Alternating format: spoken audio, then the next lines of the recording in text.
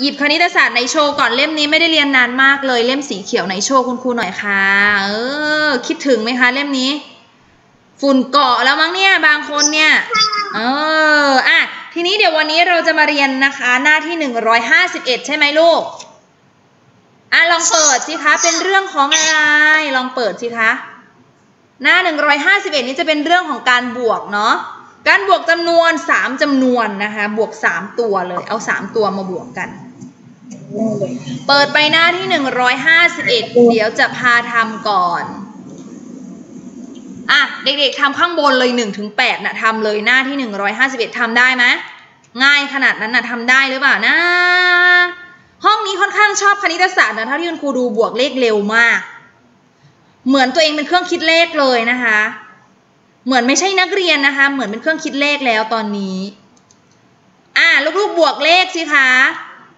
บวกเลขค่ะหนึ่งถึงแปดลองบวกดูสิอะทีนี้มีวิธีให้ หยิบดินสอขึ้นมาทำเป็นวงเล็บแบบนี้ก่อนก็ได้ บวกในวงเล็บก่อนก็ได้จะได้ไม่งงสำหรับคนที่เป็นเริ่มเริ่มต้นอะทำในวงเล็บจับคู่ก่อน เช่นคุณครูจับคู่ 3 กับ 4 ใช่ไหมคะ คุณครูก็เอา3บวก4ก่อน 3 4 5 6 7 ได้ 7 ใช่ไหมคะ ทีนี้ก็เอา 7 ไว้ในใจแล้วบวกเพิ่มอีก 5 นะคะ7แล้ว 8 9 10 11 12 แสดงว่าข้อ 1 ตอบ 12อ่าอะไรแบบนี้ถ้าถ้าลูกๆสามารถบวกแล้วบวกได้เลยถ้าไม่งงนะคะ ถ้าคนงงก็ใส่วงเล็บเหมือนคุณครูได้ ปริชัดทำเลยค่ะ ฝึกบวกเลขค่ะ ยังบวกเลขไม่ค่อยเก่งฝึกบวกค่ะ อะ น้องปริชัดเอานิ้วขึ้นมา เอาเจ็ดบวกสองซิได้เท่าไหร่อะใส่วงเล็บก่อน เอาเจ็ดใส่ใส่วงเล็บเหมือนคุณครูเห็นไหมอะ ข้อที่สองใส่วงเล็บค่ะ อะ ทีนี้เอาขึ้นมา เอาเจ็ดไว้ในใจ อะ ชูขึ้นมาสองนิ้ว เจ็ดแล้ว อะไร เจ็ดแล้วอะไร แปดเก้าเอาเก้าไว้ในใจต่อทีนี้ เอาเก้าไว้ในใจ บวกอีกเท่าไหร่นี่ อันนี้ดูบวกอีกเท่าไหร่คะเมื่อกี้เก้าอยู่ในใจบวกอีกเท่าไหร่ลูก บวกอีกเก้าใช่ไหมคะอะเอาเก้าไว้ในใจชูขึ้นมาเก้านิ้วเก้าแล้วอะไรสิบสิบเอ็ดนับไปสิบสามสิบสี่ ได้เท่าไหร่ ปริชัดได้เท่าไหร่ บวกได้เท่าไหร่ เท่าไหร่ลูกฮะสิบสี่ค่ะ อะ บวกใหม่ เอาเก้าไว้ในใจ ชูขึ้นมาเก้านิ้ว หนูรู้ค่ะคุณครูฝนเก้าแล้วสิบสิบเอ็ดอะ เปิดไมค์ปริชัดเปิดไมค์นับให้คุณครูได้ยิน อะ เอาเก้าไว้ในใจ เอาเก้าไว้ได้อะชูขึ้นมาเก้านิ้วเก้าแล้วสิบสิบสิบเอ็ดสิบสองเออสิบสามนับไปเรื่อยๆสิบสี่สิบสี่สิบครับห้าเออสิบเจ็ดสิบแปดได้เท่าไหร่สิบแปดเออ ตอบข้อที่สองตอบสิบแปดเนี่ยยังนับเลขไม่ค่อยเก่งครับลูกเส ร็จแล้วครับ ครับ เสร็จแล้วรอแป๊บหนึ่งเดี๋ยวคุณครูสอนเพื่อนก่อนเพราะเพื่อนบางคนยังนับเลขไม่ค่อยเก่ง อะปริชาต่อ อะเอาหกบวกหกข้อที่สามหกบวกหกเอาหกไว้ในใจ ชูขึ้นมาหกนิ้วดูครับบอกเลขเสร็จแล้วคหรับกแล้วเจ็ดเจ็ดแล้วอะไรอีกแปดนับต่อไปจนหมดนิ้วอะ เท่าไหร่ได้เท่าไหร่ ได้เท่าไหร่สองค่ะ อะเอาสิบสองไว้ในใจ อย่าเพิ่งเขียนก่อนสิ เอาสิบสองไว้ในใจแล้วชูขึ้นมาอีกเจ็ดนิ้วสิบสองไว้ในใจแล้วสิบสาม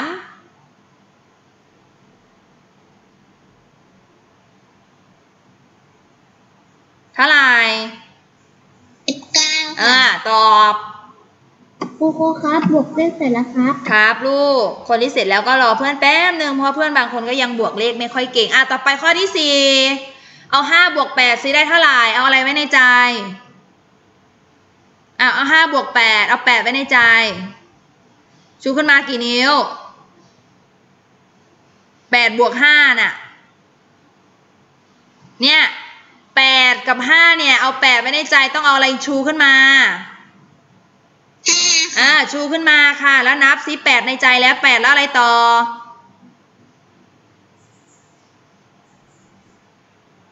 ได้เท่าไหร่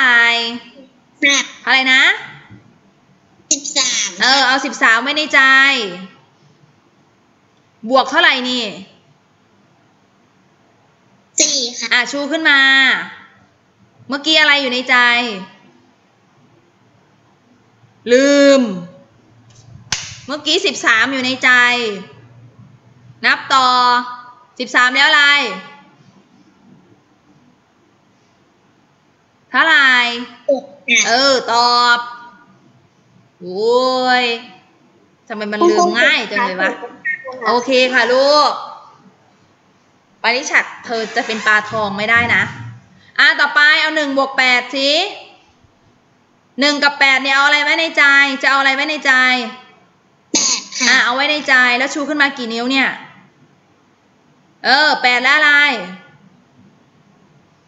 เก้าใช่ไหมอะทีนี้เอาเก้าไว้ในใจต่อ แล้วชูขึ้นมากี่นิ้วเนี่ยครูครับบวกเลขเสร็จแล้วครับ ครับลูกปริชัดชูขึ้นมากี่นิ้วเมื่อกี้เอาเก้าไว้ในใจแล้ว เก้านิ้วค่ะ ชูขึ้นมา เออ เมื่อกี้เก้าอยู่ในใจนับต่อ คุณครูค่ะหนูเสร็จไปแล้วค่ะแถวหนึงสิบแปดเอค่ะอ ตอบครูค่ะหนูเสร็จแล้ว ค่ะ คนที่เสร็จแล้วรอเพื่อนก่อนลูกคุณครูสอนปริชัดก่อนปริชัดยังบวกเลขครูไม่เสค่ร็อยจแล้เก่วงค่ะแถวหนึง ค่ะอ่าบวกต่อ เอาสี่บวกห้าค่ะ ลองบวกซิลองบวกเองก่อนสี่บวกห้าได้เท่าไหร่ จะเอาอะไรไว้ในใจแล้วแต่เสร็จแล้วค่ะค่ะ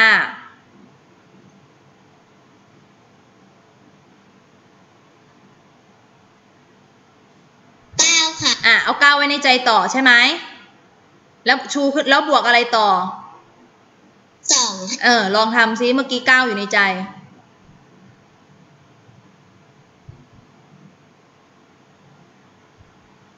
คุณครูฝนค่ะเสร็จแล้วค่ะค่ะ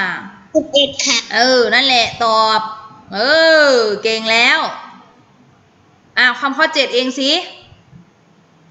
เอาสองตัวข้างหน้าบวกกันก่อนอะเก้ากับสามน่ะ เออ เก่งแล้ว เก่งแล้ว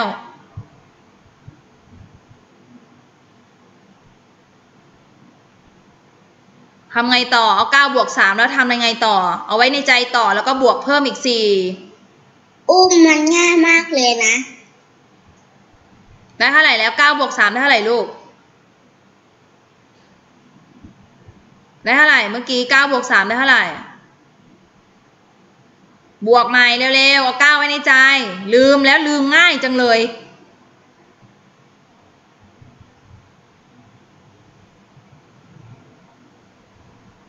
สิบสองค่ะเออ แล้วทำยังไงต่อ เอาอะไรไว้ในใจต่อ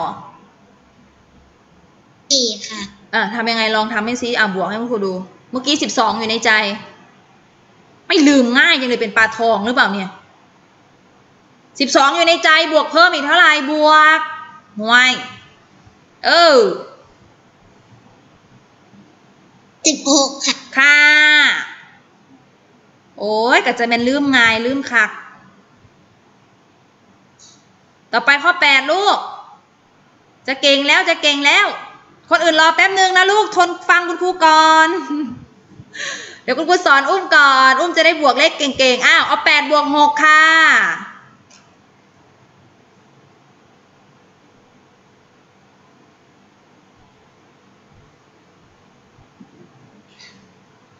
สิบสี่ค่ะอ่าเอาสิบสี่ไว้ในใจต่อ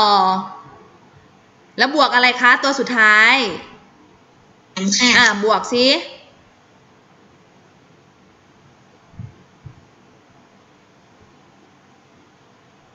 เท่าไหร่ลูก อะไรนะ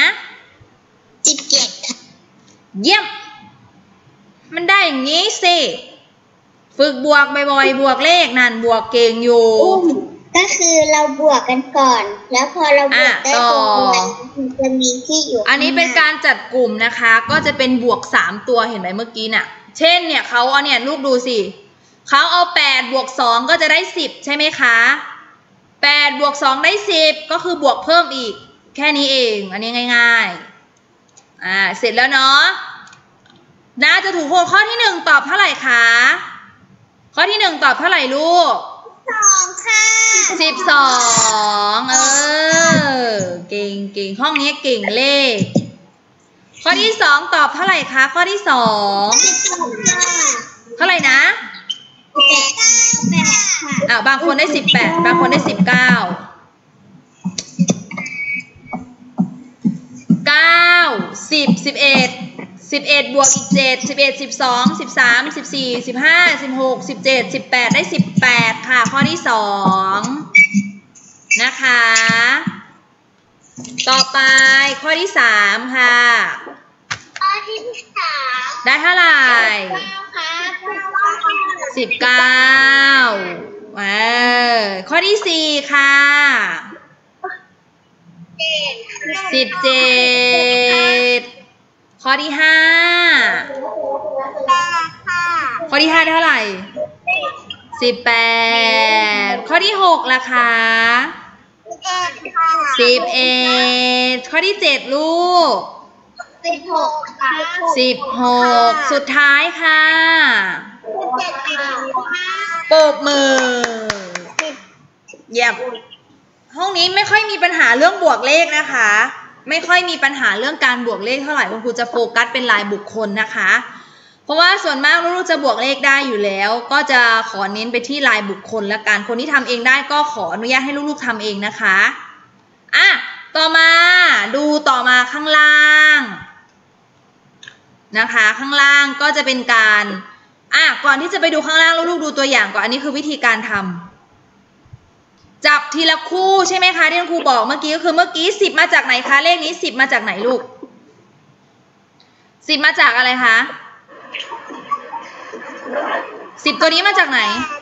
สองบวกแปดอ่าก็คือมาจาก2บวก8ใช่ไหมคะ ก็จะได้10เนี่ยลูกเป็นการจับคู่เหมือนที่คุณครูบอกเมื่อกี้ก็คือ2กับ8คู่กันแล้วมาได้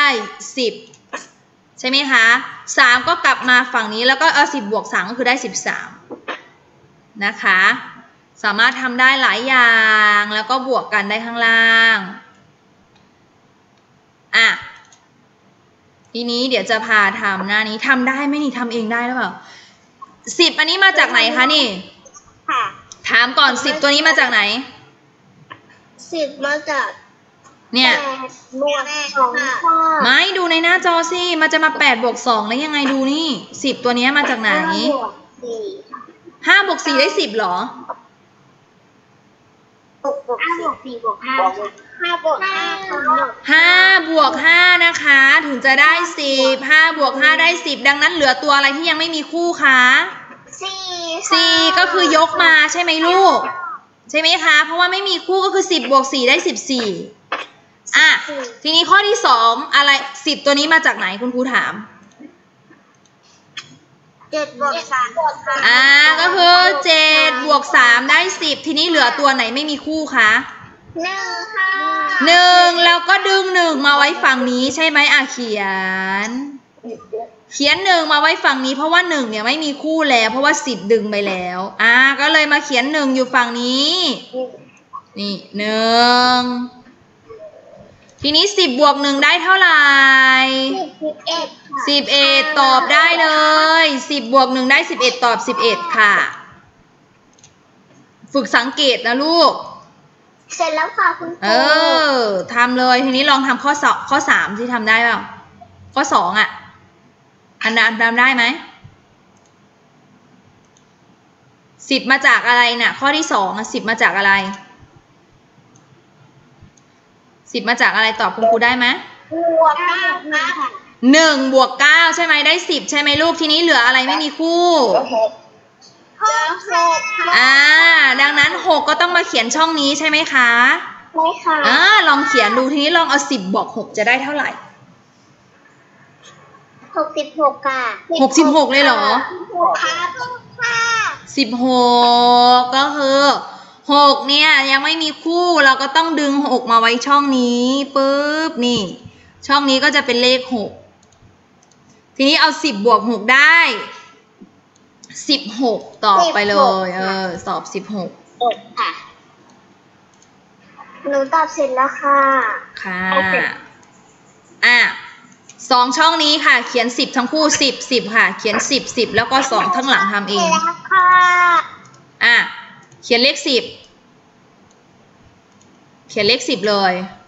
ข้อสามกับข้อสี่ช่องข้างหน้าสุดเขียนเลขสิบทั้งคู่ค่ะ เขียนเลขสิบเสร็จแล้วค่ะอะ จากนั้นทำเอง เสร็จหมดแล้วค่ะ ว่าสิบมาจากไหนเหลืออะไรไม่มีคู่ทำต่อเองค่ะ อะสองช่องนี้เป็นเลขสิบหมดเลย คนที่เสร็จแล้วรอแป๊บหนึ่งนะลูกนะ เราต้องฝึกเพื่อนทำเองไปด้วยนะ อะ เนี่ยสองช่องนี้เป็นเลขสิบสิบมาจากอะไรและอันไหนไม่มีคู่เอามาใส่แล้วก็บวกตอบ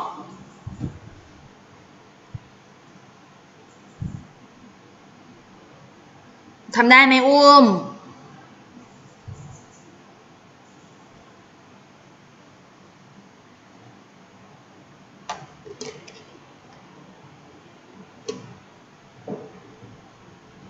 น้องแยมทำได้ไหม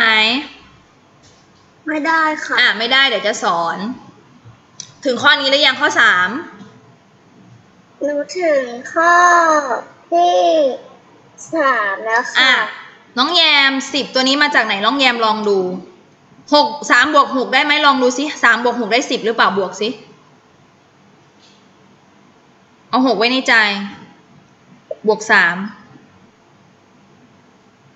ได้สิบไหมลูก ได้ค่ะได้สิบหรอ ไม่ได้ค่ะ เออ แสดงว่าไม่ใช่หกกับสามแน่นอนใช่ไหมลูก ได้ค่ะ อะลองเอาหกกับสี่ซิได้สิบไหม เอาหกบวกสี่ซิได้สิบไหม อะเอาหกได้ค่ะ อะได้ใช่ไหมแสดงว่าหกต้องคู่กับสี่ถึงจะได้สิบใช่ไหม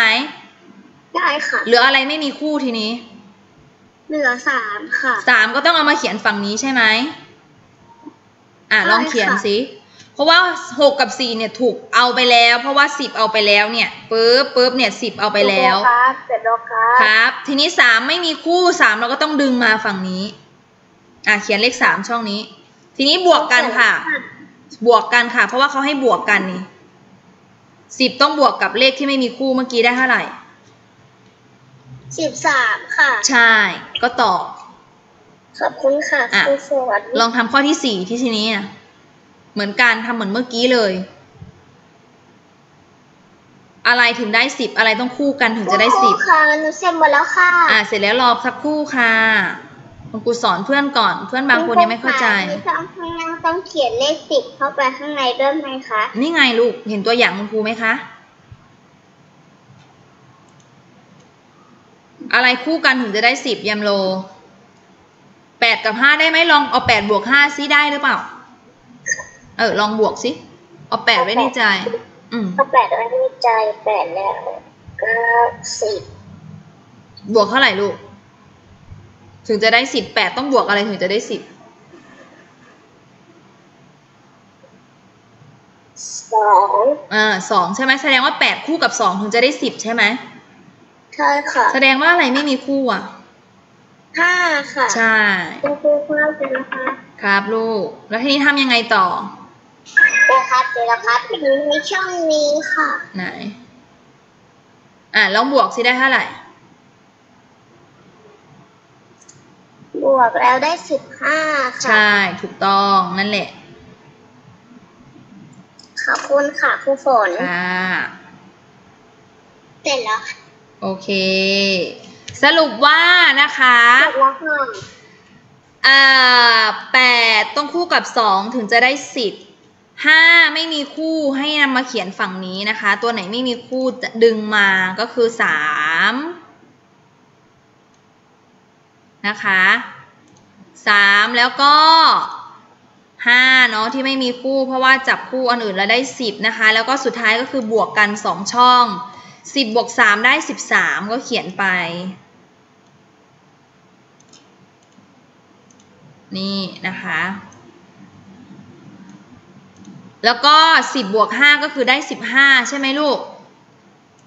เหมือนคุณครูไหมคะ ลูกๆได้เหมือนกันไหม ได้เหมือนหนูเลยอ่าค่ะเก่งมากค่ะ นี่คุณครูค่ะได้เหมือนกันหมดเลยค่ะ เยี่ยมมากเก่งมากค่ะลูกขาค่ะหนูก็เลยเหมือนกันเลยค่ะเออสุดยอดสุดยอดอะทีนี้ลูกๆดูหน้า 152 นะคะคนที่เสร็จแล้วเปิดต่อไปหน้าต่อไปคุณครูค่ะหนูเสร็จหนูหนูทำหน้านี้คนเดียวค่ะไม่ค่ะให้อะเดี๋ยวคุณครูจะสอนเรื่องโจทย์ปัญหาการบวกเรื่องนี้ยาก ดังนั้นจะต้องตั้งใจฟังให้ได้มากที่สุดอย่าสติหลุด หน้าที่ 152 นะคะ จะเป็นเรื่องของโจทย์ปัญหาการบวก ซึ่งเรื่องนี้เราเรียนไปแล้วแหละนะคะ คุณครูพาลูกทำในสมุดแล้วด้วยที่พาขีดเส้นเอาสีมาขีดจำได้ไหมนั่นแหละเรื่องเดิมนะคะ เช่นข้อนี้นะคะ โจทย์ปัญหาการบวก แม่ ย่างกุ้ง8ตัว แม่ย่างเพิ่มให้อีก4ตัวเพิ่มแปลว่าลดหรือเพิ่ม เพิ่มแปลว่าบวกหรือลบนี่เพิ่ม บวกบวกนะค่ะก็คือตอนแรกอะ แม่มีกุ้งอยู่8ตัวย่างไว้8ตัวใช่ไหมแต่ทีนี้ครูฝนไม่อิ่ม แม่ก็เลยย่างเพิ่มให้อีก4ตัวนะคะ สรุปว่าแม่ย่างกุ้งทั้งหมดกี่ตัวนั่นเองอันนี้เป็นโจทย์ปัญหานะคะ เป็นการถามเนาะ คุณอูเนี่ยอันดับแรกเขาบอกว่าขั้นตอนที่หนึ่งให้นักเรียนทำความเข้าใจโจทย์นะคะว่า โจทย์กำหนดอะไรมาให้คุณครูเคยสอนไหมว่าโจทย์กำหนดอะไรให้ดูตรงไหน ตัวเลขสองตัวใช่ไหมคะสิ่งที่โจทย์กำหนดให้ก็คือตัวเลขสองตัวจำได้ไหมตัวเลขแรกนะคะสิ่งที่โจทย์กำหนดให้ก็คือแม่ย่างกุ้งแปดตัว อันนี้สองเพิ่มอีก สี่ตัวใช่ไหมคะ อันนี้คือสิ่งที่โจทย์ถามอ่าสิ่งที่โจทย์กำหนดให้แล้วโจทย์ถามจะอยู่ตรงไหนลูก สิ่งที่โจทย์ถามจะอยู่ตรงไหนคะ แม่ย่างกุ้งค่ะ อ่า แม่ย่างกุ้งทั้งหมดกี่ตัว ก็คือสรุปง่ายๆ ถ้าโจทย์ถามบางคนอ่านหนังสือยังไม่เก่ง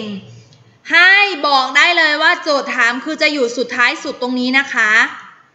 คนที่ยังอ่านหนังสือไม่เก่งตอบอย่างมั่นใจเลยว่าสิ่งที่โจทย์ถามจะอยู่หลังสุดนะลูก โจทย์จะถามอยู่หลังสุดนะคะจำดีๆนะ สิ่งที่โจทย์ถามจะอยู่หลังสุดสำหรับคนที่ยังอ่านหนังสือไม่ค่อยเก่งให้เดาแบบนี้นะคะ จะเป็นการเดาที่ถูกต้องนะลูก สิ่งที่โจทย์ถามจะอยู่หลังสุด นอกนั้นคือสิ่งที่โจทย์ให้มา นะคะ นอกนั้นคือสิ่งที่โจทย์ให้มา อันนี้จะเป็นเทคนิคสำหรับคนที่ยังอ่านหนังสือไม่เก่ง อ่านหน้าแล้วลืมหลัง อันนี้เป็นเทคนิคนะคะ ข้างหน้าจะเป็นสิ่งที่โจทย์กำหนดให้ แล้วก็หลังสุดจะเป็นสิ่งที่โจทย์ถามนะลูก อันนี้คือเทคนิคนะคะ อะทวนถามค่ะ สิ่งที่โจทย์กำหนดให้อยู่ตรงไหน ตรงไหนข้างคะล่างสุดค่ะตรงไหนนะข้าง ล่างสุดค่ะข้างล่างสุดค่ะสุดค่ะ อะไรล่าสุดไม่เข้าใจไม่ได้ยินไม่ชัดเลย ข้างหลังสุดค่ะข้างหลังสุดนะคะ สิ่งที่โจทย์ถามอยู่หลังสุด แล้วสิ่งที่โจทย์กำหนดให้ล่ะคะหน้าสุดค่ะอ่าหน้าสุดค่ะหน้าสุดอะทีนี้เปิดไปหน้าที่154เพื่อเป็นการทบทวน เปิดไปเลยหน้า154นี่ห หยิบดินสอกับไม้บรรทัดขึ้นมาจะถาม หยิบดินสอกับไม้บรรทัดมาจะให้ขีดดูว่าจะขีดถูกหรือไม่ถูก จะเหมือนกันกับครูฝนหรือเปล่า ลองขีดข้อหนึ่งสิคะ โจทย์ถามตรงไหนลูกข้อที่หนึ่งโจทย์ถามตรงไหน ขีดเส้นค่ะ โจทย์ถามอะไรให้ขีดเส้นค่ะ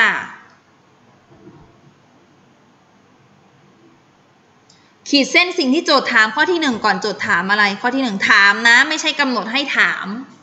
ถามให้ขีดเส้นใต้ค่ะเขาบอกว่าเอ่อขีดเส้นใต้ข้อความส่วนที่โจทย์ถาม ลูกขีดหรือยังคิดคิดอ่าเดี๋ยวลองดูว่าจะเหมือนครูฝนหรือเปล่าว่าจะจำได้หรือเปล่าครูฝนบอกว่า อยู่หลังสุดนะคะ สิ่งที่โจทย์ถามจะอยู่หลังสุดดูซิว่าจะขีดถูกหรือเปล่า ถูกไหมคะ นี่ค่ะ สิ่งที่โจทย์ถามคืออยู่หลังสุดค่ะ ถูกค่ะ เก่งมากไอรีน ถูกครับถูกเก่งมากอาการเหมือนเราคุณถูกค่ะ อ่า นอกนั้นแปลว่าอะไรตั้งแต่ ขวดเนี่ยเก้าขวดขึ้นไปคืออะไรคะ ตั้งแต่เนี้ยขึ้นไปคืออะไรลูก นอกนั้นคืออะไรคะใช่ค่ะอะไรนะ คุณครูค่ะหน้าไหนนะคะหน้าหนึ่งร้อยห้าสิบสี่น้ำทิพย์ตอบว่าอะไรนอกนั้นคืออะไรเนี่ยข้างบน จดคือจะกำหนดให้อ่านอกนั้นก็คือสิ่งที่โจทย์กำหนดให้เขาบอกว่าให้วงกลมล้อมรอบ นี่เห็นไหมง่าย ๆ เองบอกแล้ว อ่านหนังสือไม่เก่งก็ทำได้ เนี่ย นอกนั้นก็คือให้วงกลมล้อมรอบ แค่นี้ ง่ายไหม บอกแล้วว่าง่าย ถ้าจำเทคนิคครูฝนไป นี่ เห็นไหมคะ แล้วทีนี้ตอบคำถามค่ะ เขาบอกว่าอ่า พ่อค้าขายนมขวดใหญ่เจ็ดขวด ขายนมขวดเล็กเก้าขวด ขายนมได้ทั้งหมดกี่ขวดคะเอาเจ็ดบวกเก้าสิอ๋อไม่ใช่สิเขาถามว่า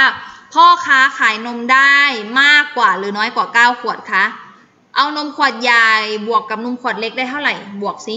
เก้าบวกเจ็ดเจ็ดบวกเก้าได้เท่าไหร่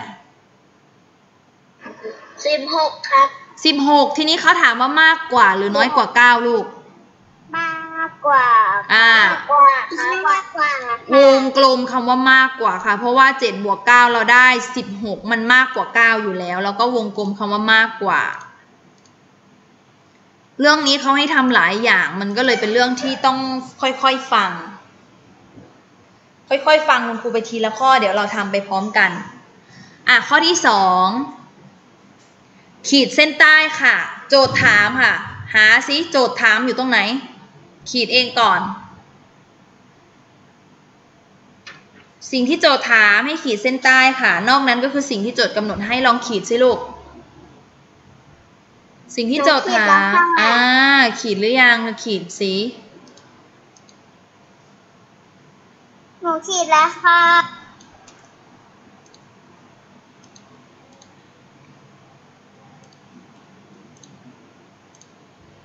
ขีดยาวมาถึงตรงนี้เลยนะเนี่ย อ๋อไม่ใช่สิถูกแล้วแค่นั้น เหมือนไหมคะ ข้อที่สองหนูถูกค่ะ ถูกนะถูกค่ะถูกและข้างหน้าให้ทำอะไรเนี่ยลูก ข้างหน้าคืออะไรคะนี่ข้างหน้า โดยกำหนดให้อ่าข้างหน้าก็คือสิ่งที่โจทย์กำหนดให้ ซึ่งเขาบอกว่าให้วงกลมไว้ใช่ไหมคะ เก่งมากเลยเริ่มจำได้แล้ว อันนี้เป็นเทคนิคเพิ่มเติมนะคะสำหรับน้องที่ยังอ่านหนังสือไม่ค่อยเก่งนะลูกนะ เป็นเทคนิคเพิ่มเติม แต่ถ้าคนที่อ่านได้แล้วก็สามารถวิเคราะห์ได้เลยนะคะ คนที่อ่านหนังสือเก่งแล้วก็วิเคราะห์ได้เลย อันนี้เป็นเทคนิคสำหรับคนที่ยังอ่านหนังสือไม่ค่อยเก่ง ก็จะสามารถทำได้เหมือนเพื่อนเหมือนกัน อะทีนี้ครูจะอ่านโจทย์ให้ฟังข้อที่สองน้องอายุ 8 ปี พี่อายุมากกว่าน้อง 4 ปี พี่อายุกี่ปีคะ บวกกันค่ะสิบสองค่ะ 12 สองค่ะ ทีนี้เขาถามว่า พี่อายุมากกว่าหรือน้อยกว่า 8 ปี มาก มากกว่าค่ะมากกว่า อะวงกลมคำว่ามากกว่าอู้เก่งจังเลยห้องนี้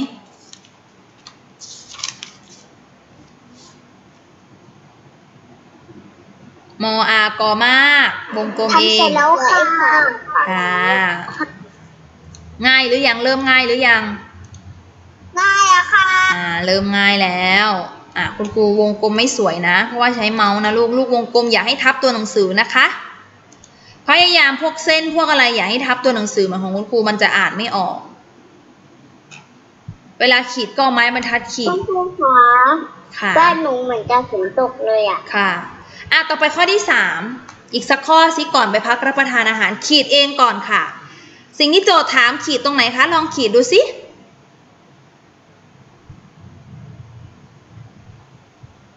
ลองขีดดูก่อนว่าจะเหมือนคุณครูไหม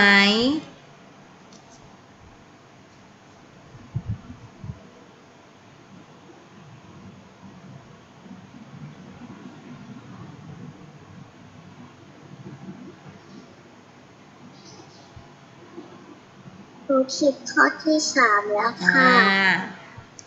ขีดข้อดูที่สิสาม เหมือนคุณครูหรือเปล่าปึ๊บปึ๊บปึ๊บนี่ เส้นสีแดง เหมือนค่ะเหมือนไหมเหมือนค่ะอะแสดงว่าจะเริ่มทำข้อสอบได้แล้วนะเนี่ย คุณแม่ไม่อ่านให้ก็ได้นะเนี่ย แล้วนอกนั้นล่ะคะ คืออะไรลูก เสร็จแล้วนอกนั้นคืออะไรคะข้างบนเนี่ย กำหนดให้ค่ะ อ่า ก็คือวงกลมใช่ไหมคะ วงล้อมรอบเนี่ยวงไป ก็พยายามอย่าให้วงทับตัวหนังสือปึ๊บนี่วงกลม แล้วก็เรามาตอบคำถามนะคะ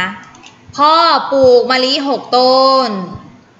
เหลือมะลิจะต้องปลูกอีกห้าต้นนะคะปลูกไปแล้วหกเหลืออีกห้าสรุปว่าพ่อมีทั้งหมดกี่ต้นคะมะลิเนี่ยเอ็ดค่ะสิบเอ็ด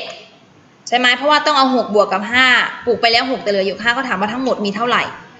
ทีนี้เราเอาหกบวกห้าเนี่ยได้สิบเอ็ดเขาถามว่า เดิมพ่อมีมะลิมากกว่าหรือน้อยกว่าหกคะ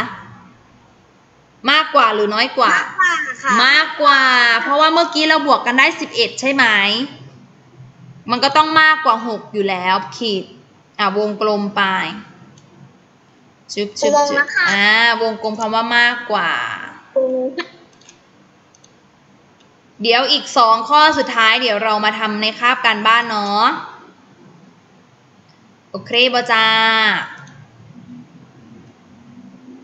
โอเคจ้า โอเคจ้า โอเคค่ะ โอเค อะ นี่ค่ะ เราจะทำก่อน 3 ข้อ เดี๋ยวอีก 2 ข้อพับไว้ด้วยนะ ลูกๆ พับไว้หน้า 154 พับไว้ เดี๋ยวครูฝนพามาทำข้าวกันบ้านอีก วันนี้ก็จะมีงานค้างแค่คัดลายมือสำหรับคนที่ยังไม่เสร็จเนาะภาษาไทยแล้วก็คณิตศาสตร์หน้านี้ วางไว้ เพราะว่าเดี๋ยวจะให้ไปพักรับประทานอาหารแล้วนะคะ เดี๋ยวจะให้ไปพักรับประทานอาหาร เสร็จหมดหรือยังคะ เดี๋ยวข้อสี่ข้อห้าเดี๋ยวเราค่อยทำกันภาพกันบ้านนะ เสร็จหรือยังเสร็จหมดแล้วค่ะ เสร็จหมดแล้วค่ะ อ่า เสร็จแล้วเก็บอุปกรณ์ เดี๋ยวจะให้ไปพักรับประทานอาหาร เดี๋ยวจะให้ไปพักรับประทานอาหารนะคะ เดี๋ยวคนที่ยังไม่เสร็จยังไง เดี๋ยวคุณครูจะมาย้ำในคาบการบ้านอีกรอบนึงนะลูกนะ โอเคไหมคะ หิวหรือยัง หิวแล้วค่ะหิวแล้วอะเดี๋ยวคุณครูจะปล่อยลูกๆไปพักรับประทานอาหารนะคะ สวัสดีค่ะ สวัสดีค่ะลูก สวัสดีค่ะสวัสดีค่ะ